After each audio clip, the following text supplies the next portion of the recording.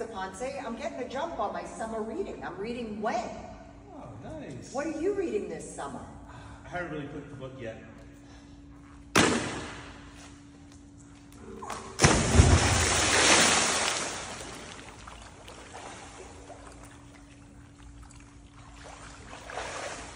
If you want to make a splash, get your summer reading done early.